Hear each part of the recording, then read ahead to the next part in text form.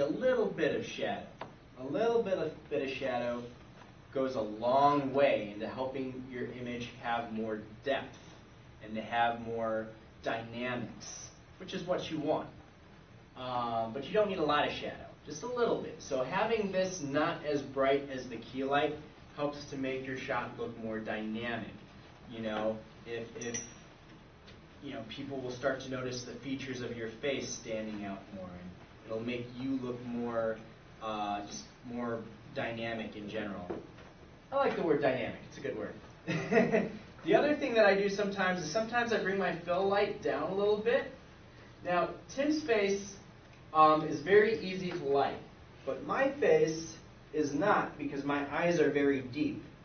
And sometimes, if the light is 45 degrees above me, it'll create shadows. So different people have different types of faces.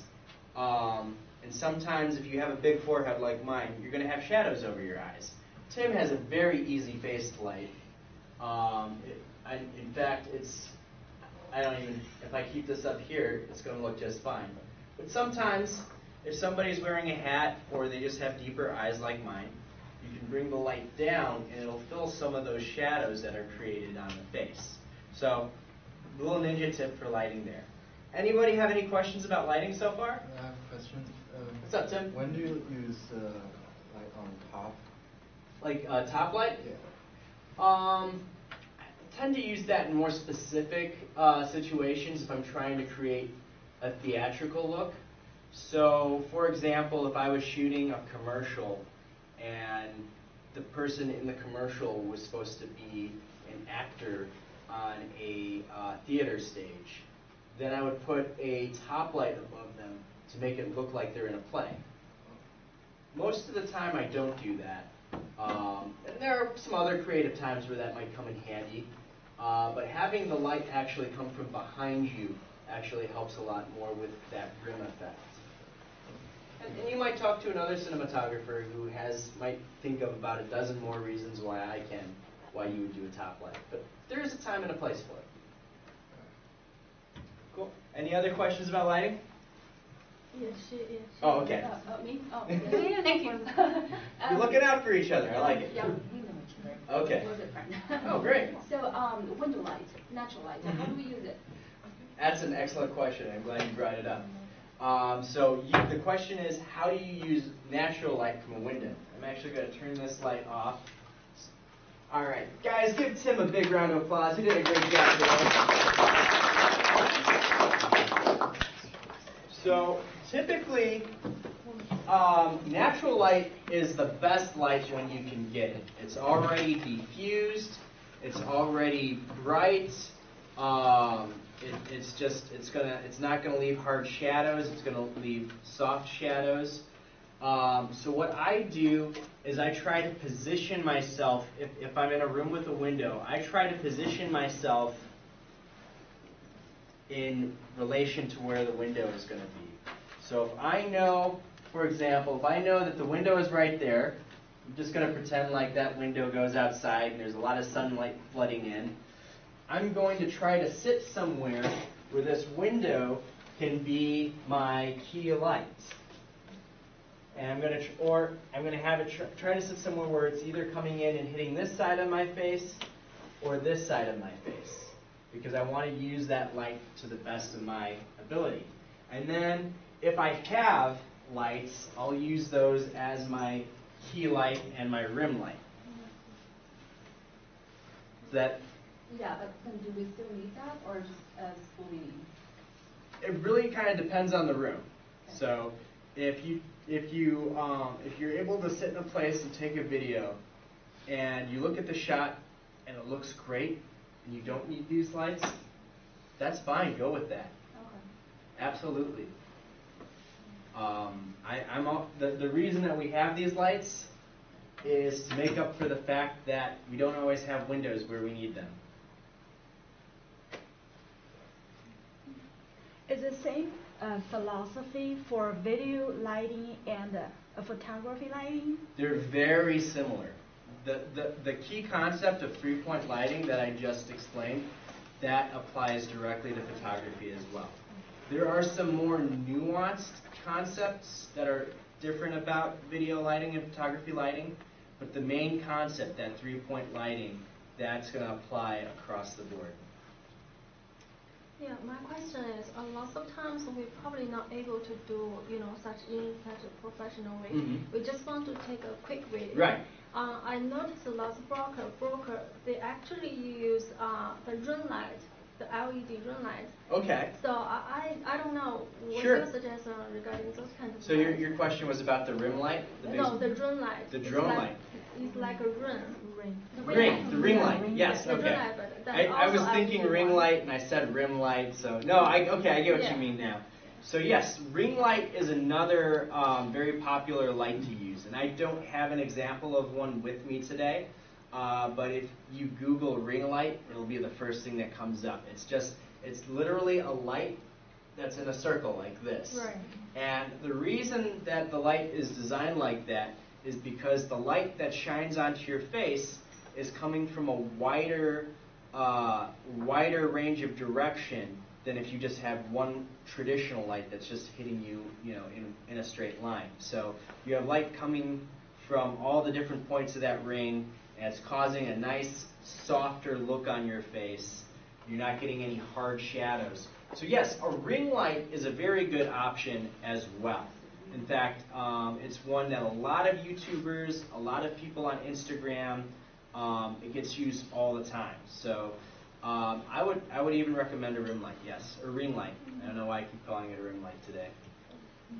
Any any more questions? You said the three point, um, three light pointing, Mhm. you mean, three, um, three, the, the three light at the same time, or? Yes. Okay. So the three point is that you know the three lights are shining on you at the same time. And when you have the three lights, it actually imitates what, if you're outside in sunlight, it actually kind of imitates what that looks like. Because we have one main source of light, that's the sun. And the sun is the brightest point, and it causes the most light on your face.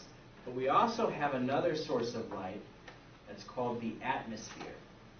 So we have in the sky, we have a, you know a few miles of oxygen above us, and the light is actually traveling through the atmosphere and being split up, and it's bouncing off, and, and, and what ends up happening is you also have light coming from behind you, and light coming from your side.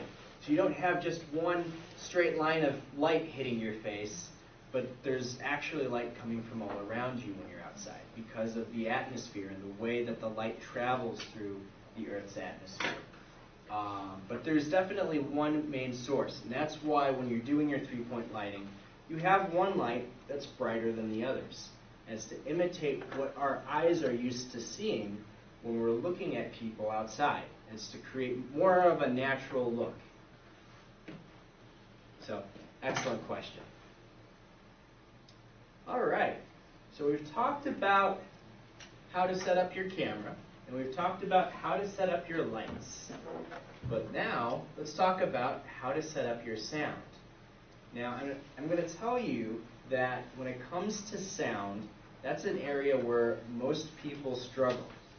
And not just YouTubers, but I know professional videographers who do this for a living and have been shooting videos for a year who still struggle with their audio because it's not something that you can see. You, you know, we can see a camera, we can see what the camera's pointed at, and right away, you can all probably tell me if this camera's pointed at David or not, right? Mm-hmm.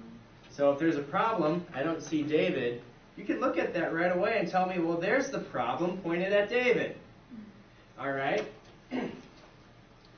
but now, if I put this microphone on David, and after he's done talking, I take the microphone and I listen to the recording, and I can't hear him, what's the problem? Sometimes. But that's good thinking. That shows that you're you're thinking about what that's good. So a lot of people are going to really struggle with, you know, because it's not It's not something you can see. Does it make sense? Um, but that's good. That shows that you're thinking about it. So sometimes, what she was mentioning is sometimes when you have a microphone clipped to you like this, sometimes, um, you know, depending on what type of shirt you're wearing, your shirt might ruffle and create sound. Um, so, really quick, this is the microphone that I use for a lot of my YouTube videos. I use it a lot of times when I'm shooting uh, wedding videos, and I just really quickly have to get a microphone on somebody, and then really quick I got to get off and give it to somebody else. Now, when it comes to microphones, there are just as many microphones out there that as there are cameras. Why do I choose this one? This is the Tascam DR10L. And I choose it because it's really the simplest microphone I've ever found. A lot of microphones, you have to plug something into it. Um, you have to run a cable somewhere else.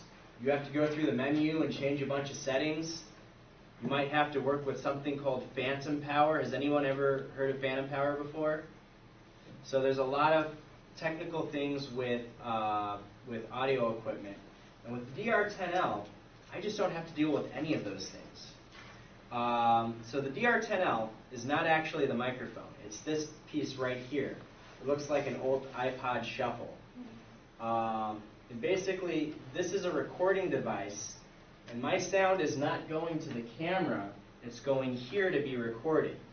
We always record our audio to a separate device because you're going to get better quality that way than if we're recording uh, either through the camera's internal microphone or to the camera. Now, there are exceptions. There are some times when you do want to plug your microphone into the camera. I'm not saying never do that. I'm saying nine times out of ten, you want to record your audio to a separate device. This is a device that's made for the sole purpose of recording sound, so it's going to get the best sound that you can get. And it comes with this microphone. This is a omnidirectional microphone, which means that it can hear the sound if you're over here. It can hear the sound if you're over here. Here, here, here, here. Doesn't matter what direction you're in, it'll hear you. Now, depending on how close or how far you are, you might be louder or quieter in the recording. But it can record in all directions because it is omnidirectional. There are a lot of microphones that are what's called unidirectional, which means they're only going to record sound in this direction or in that general direction. And so sometimes a lot of people will buy a unidirectional mic and they'll be like, how come I can't hear this person when they're standing over here? Well, it's because the microphone only records sound in that direction. So with an omnidirectional mic, you eliminate some of the uh, factors that might ruin your recording. So you, with this lapel omnidirectional mic, I can just clip this here onto my shirt, and it will hear me. And then all I have to do when I'm done recording is take out the SD card, just like I do with my camera, and plug it into my computer, and I can get my files and I can edit. What card?